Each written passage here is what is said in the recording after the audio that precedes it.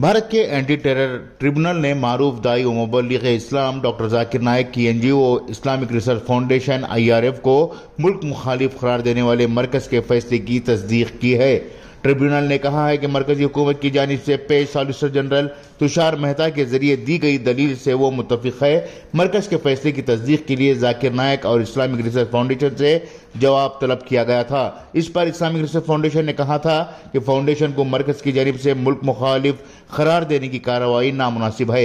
आई ने ट्रिब्यूनल को अपने जवाब में कहा था कि हुकूमत के पास एक भी सबूत नहीं है कि फाउंडेशन माजी में किसी भी गैर कानूनी और मुल्क मुखालिफ सरगर्मियों में शामिल रहा है फाउंडेशन एक रजिस्टर्ड चैरिटेबल ट्रस्ट है। इसका मकसद अवाम की तरक्की, ज़रूरतमंदों की मदद, तालीमी इदारों और अस्पतालों का क्याम करना है। इधर ट्रिब्यूनल के हुक्म में कहा गया है कि सबूतों से साबित हुआ है कि आईआरएफ ऐसी सरगर्मियों में शामिल है, जो मुल्क की सिक्योरिटी के लिए खतरा है। इससे मुल्क के अमन और फिरखावाना आहंगी और सेक्युलरिज्म मुतासर हो सकता है। इसलिए ट्रिब्यूनल ने 15 नवंबर 2021 की नोटिफिकेशन की तस्दीक करते हुए आईआरएफ को मुल्क मुखालिफ तंजीम करार दिया है। इसमें हुकूमत हिंद ने यू ए पी ए के तहत आई आर एफ़ पर लगाई गई पाबंदियों को पाँच साल तक मजीद बढ़ा दी गई है।